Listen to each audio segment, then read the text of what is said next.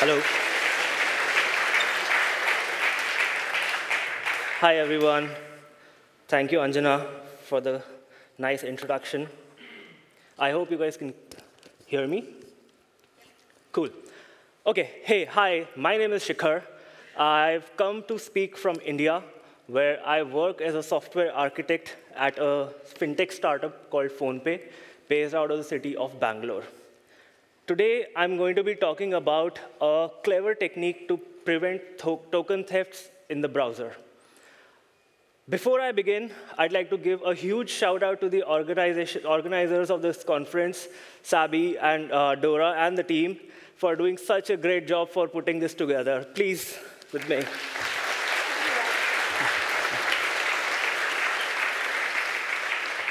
Thank you. Okay, uh, before I uh, proceed to the topic, a quick show of hands if you've ever built applications uh, either front end or back end that require users to log in to perform some protected actions? Ah, perfect. That makes my job really easy now. Uh, okay. Uh, sorry. Something wrong with the clicker. Cool. Okay. So if you've ever written code that resembles this, you can almost be certain that under the hood, there's either a cookie or a token stored somewhere in the client browser that lets us derive whether the user has access to the parts of the website that are protected. Behind the scenes, you can almost be certain that there's some variation of OAuth 2 authorization flow implemented.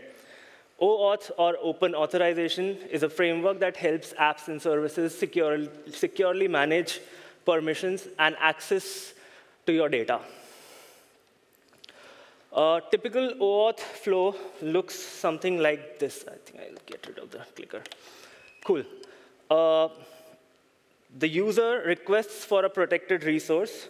The client realizes that the uh, user might not have access to it, so it prompts the user to log in with their credentials. The user enters their credentials.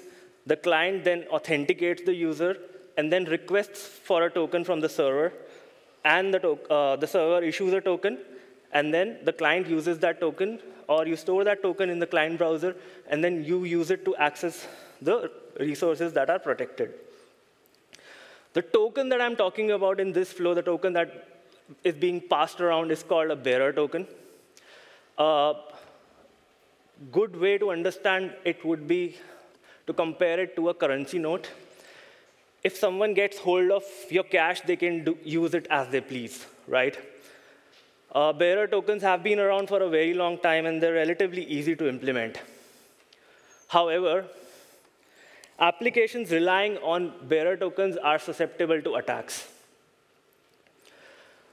Hackers use techniques like SSL spoofing, cross-site scripting, and tools like malwares to get to execute attacks like man in the middle or pass the cookie. Pass the cookie? really? Uh, I could come up with a better name. Uh, maybe, you know, call it steal your money attack or man in the middle of your happiness. uh, anyhow, as harmless as they, uh, they sound, a valid token in the hands of an adversary could lead your users in a lot of trouble. According to a report published by IBM in 2023, the average cost of a data breach was $4.5 million. And this is the average. The highest that was reported was around $350 million. Can you imagine that? Another report by IBM highlighted that attacks involving compromised credentials or stolen tokens have increased by over 71% over the last, last three years, making it one of the biggest uh, and the most predominant attack vectors. As front-end engineers, when it comes to uh, solving user experience, uh, we tend to gravitate and focus more on factors like performance, reliability, which obviously have their own place.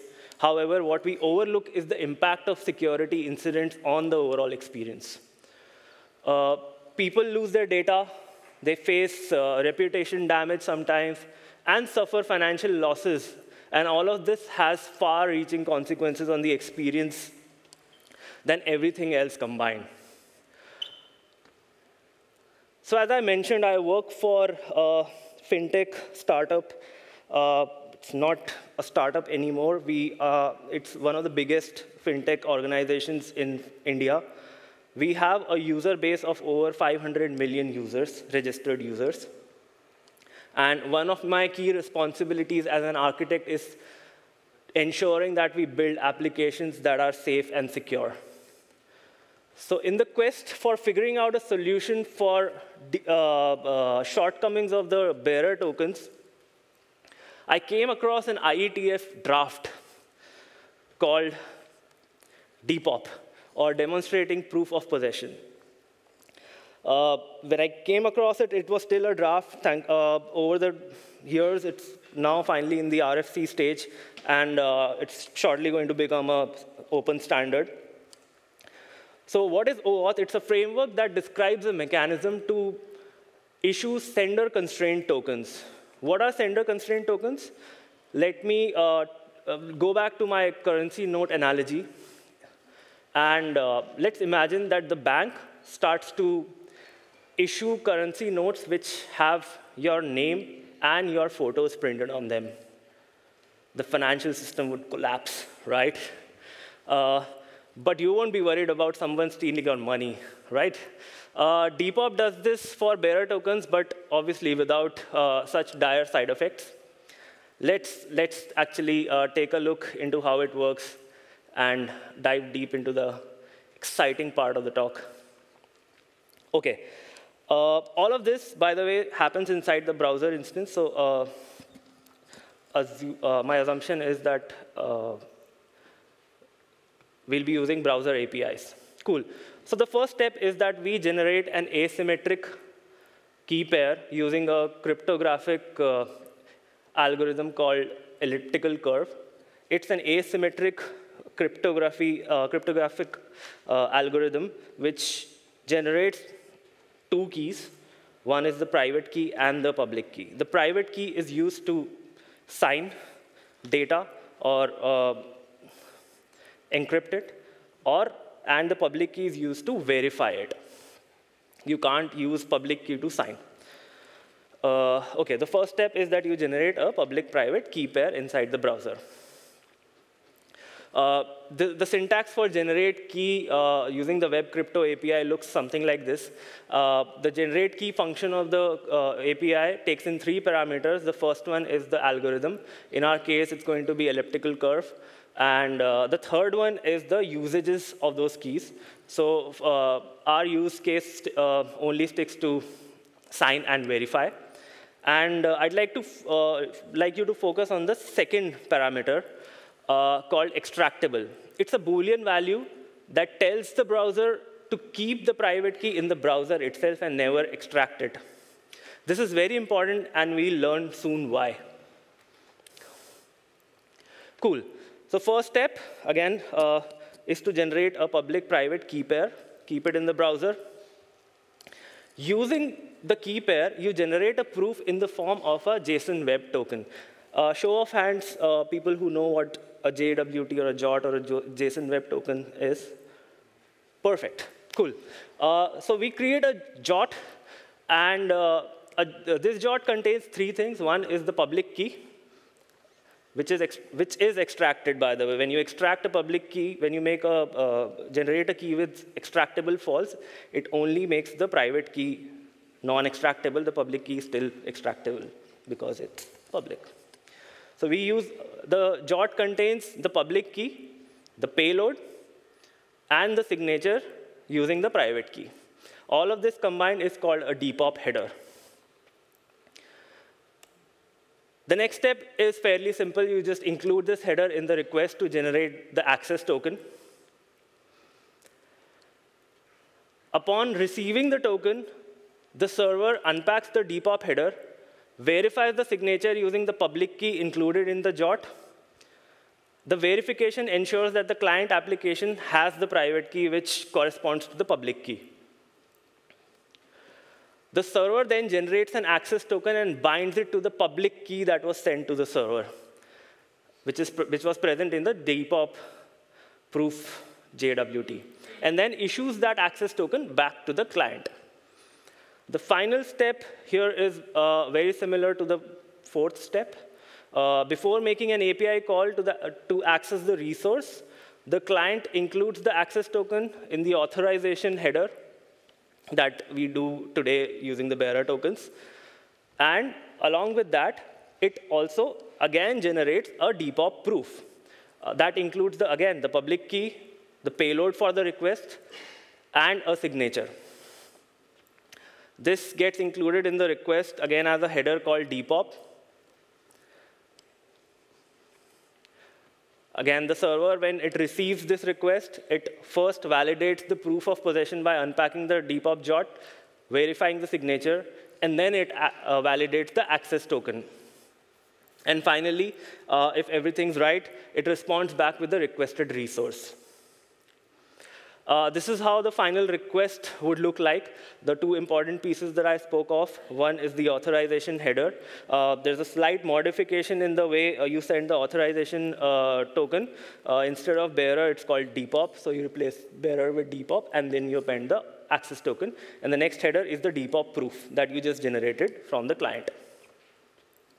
Now let's review a scenario where someone steals your access token. Just the access token won't cut it because it's bound to a private key. Uh, sorry, it's bound to the public key. The server would expect a DPoP header. It is impossible to generate a DPoP header outside of the client application because the private key never leaves the browser. Uh, the DPoP header cannot be tampered because it is signed by the private key, which is, again, present in the browser. The proof of possession is unique for each request. Hence, stealing it won't help. Every subsequent request is signed when it leaves the client and then is verified at the server.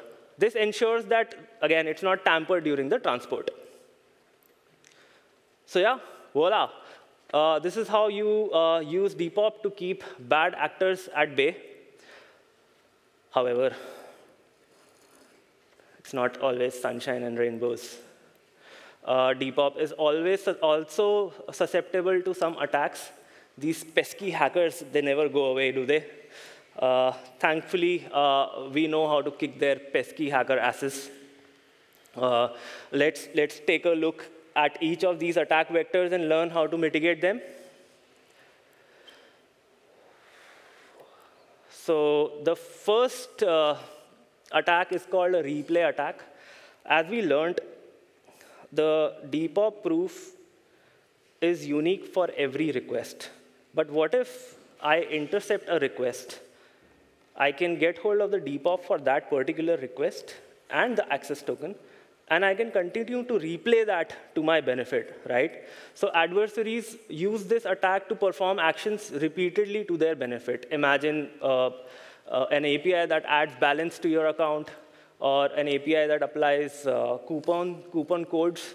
Uh, you could uh, infinitely uh, add coupons to your transactions. Uh, you obviously would have some sort of prevention mechanism at the application layer, but the, net, the, the network infra should also be able to handle such requests, such attacks. So one way to fix this is to reduce the validity of the DPoP tokens itself. Uh, uh, to understand this, let's take a look at a sample uh, decoded DPoP. So uh, let's focus on the payload of our DPoP header. There's uh, an attribute called IAT. It stands for issued at. It's the timestamp at which uh, the token was generated. Uh, the server can read this timestamp and check whether the token was created within the stipulated duration and reject any proof that has expired. This helps reducing the scope of attack to a very small duration. Uh, okay, the next one uh, is called a token pre-generation attack. Uh, what you can do is if, if, if, an adversary gets hold of your execution environment, uh, uh, like through a browser uh, plugin, they can potentially generate infinite DPoP proofs ahead of time uh, for different requests and then use them later at a later point in time. Uh, to mitigate this, uh, the draft has an uh, interesting uh, uh, solution proposed. the server can issue a time-sensitive nonce while uh, issuing an access token. And uh, this nonce can be included in the DPoP header, uh, like the one that we just saw. The server, upon receiving, can actually validate that nonce and decide whether to reject it or basically check the validity of the nonce. Uh, okay, moving on to the third one. This is the most peculiar, and the IETF draft also uh, doesn't talk about it. Thankfully, mitigating this is also very easy. Uh, browsers, uh, okay, uh, sometimes uh, can gain control of the CDN and modify the JS that is being shipped, or the, the JS that, has, that is being requested, and make the private key extractable.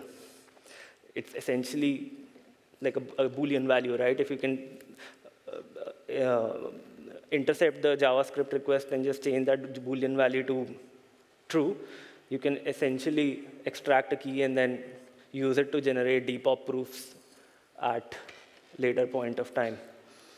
Uh, so browsers have a feature called sub-resource integrity, uh, or SRI. SRI is a security feature that enables browsers to verify the resources they fetch uh, and make sure that they, delivered, they are delivered without any manipulation.